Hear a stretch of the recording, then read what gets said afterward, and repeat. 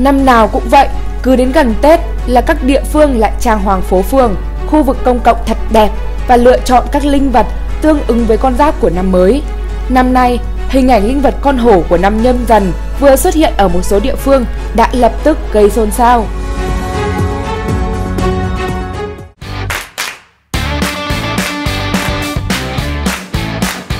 Những chú hổ gây xôn xao mạng xã hội. Mấy ngày qua, mạng xã hội lan truyền hình ảnh 5 bức tượng hổ được tạo hình gầy còm, biểu cảm ngơ ngác ở vườn hoa quảng trường thị xã Phú Thọ, tỉnh Phú Thọ. Nhiều người cho rằng những con hổ này trông rất tiều tụy, không hề uy nghi, dũng mãnh như vẻ vốn có của loài hổ. Sau khi ngỡ ngàng, cư dân mạng hài hước cho rằng hẳn năm qua khó khăn lắm nên chú hổ này mới gầy gò như vậy.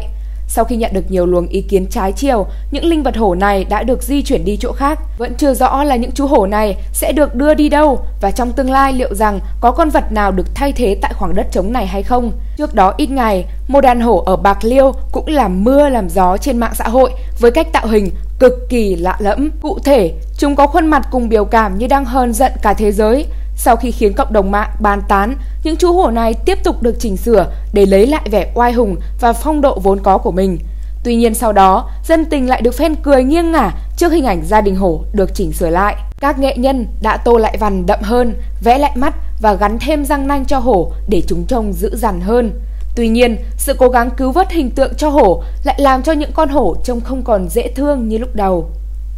Muốn tìm hiểu kỹ hơn về hình tượng hổ trong dịp này, chúng ta có thể đến Bảo tàng Lịch sử Quốc gia ở số 1 Tràng Tiền, Hà Nội để tham quan trưng bày chuyên đề Hổ trong mỹ thuật cổ Việt Nam. Với trên 30 hiện vật và các tài liệu, hình ảnh chọn lọc, trưng bày giới thiệu với công chúng những tác phẩm nghệ thuật tạo hình hổ đặc sắc trải dài trên 2.000 năm lịch sử của mỹ thuật Việt Nam. Theo tiến sĩ Nguyễn Văn Đoàn, Giám đốc Bảo tàng Lịch sử Quốc gia Việt Nam, hình tượng hổ có lịch sử lâu đời trong văn hóa Việt Nam – các tài liệu liên quan chứng minh hổ là đối tượng sùng bái và là vật tổ của nhiều bộ tộc từ thời tiền sử. Cách đây trên 2.000 năm, hình tượng hổ bước vào mỹ thuật trên các đồ đồng Đông Sơn với quan niệm kính sợ và tôn thờ sức mạnh, oai linh của loài vật này. Cùng với diễn trình lịch sử, văn hóa Việt Nam, hình tượng hổ có những diễn biến và ý nghĩa tương ứng từ ý nghĩa tâm linh, tôn giáo, tín ngưỡng, biểu tượng vương quyền đến những vật dụng, trang trí đời sống sinh hoạt thường nhật trong dân gian – tạo hình, phong cách, ứng dụng, ý nghĩa của mỗi thời đại cũng tồn tại những khác biệt. Ngoài những hình hổ trang trí bằng họa tiết chìm, người Đông Sơn còn thể hiện hình tượng hổ thông qua việc tạo ra những khối tượng tròn như bốn khối tượng hổ cắp mồi rất sinh động trên nắp tháp đồng Vạn Thắng, Cẩm Xuyên, Phú Thọ. Tượng hổ kết hợp với rắn, voi trên chuôi đao găm Đông Sơn khai quật tại di tích Làng Vạc ở Nghệ An.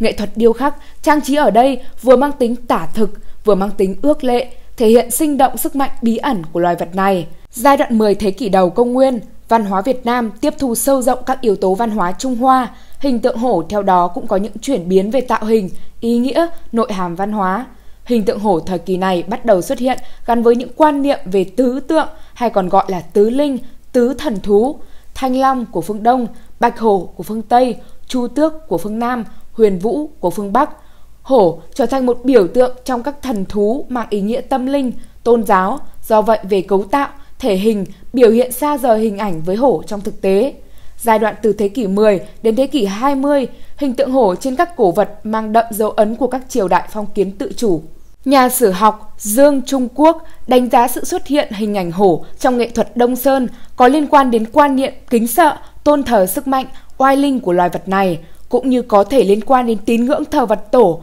tín ngưỡng vạn vật hữu linh của cư dân thời kỳ này. Trong khi đó, Hồ ở giai đoạn sau đôi lúc xuất hiện với biểu cảm ngộ nghĩnh, vui vẻ. Ông nhận xét, tượng hổ trong các lăng mộ thế kỷ từ 13 đến 18 có vẻ oai phong, cương nghị nhưng mang tính chất canh giữ nhiều hơn là vẻ hung dữ, đe dọa khiến người ta sợ hãi.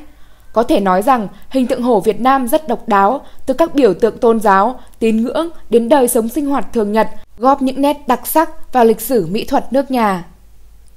Đó là những hình tượng hổ được đưa vào bảo tàng, còn trên thực tế, theo nhận định của giới chuyên gia bảo tồn, hiện nay số lượng hổ trong tự nhiên tại Việt Nam ước tính chỉ còn 5 cá thể. Tuy nhiên, số cá thể hổ trên cũng chỉ được Tổ chức Bảo tồn Thiên nhiên Thế giới thống kê từ con số ước tính bởi kể từ năm 2009, Việt Nam không có ghi nhận nào về hổ hoang dã, cũng không thực hiện khảo sát quốc gia nào về hổ ngoài tự nhiên. Trong khi hổ hoang dã còn lại rất ít, thì số hổ nuôi nhốt có đăng ký tại Việt Nam đã tăng từ 97 cá thể vào năm 2010 lên tới 364 cá thể vào năm 2021 tại các cơ sở nuôi nhốt, chủ yếu là các sở thú tư nhân.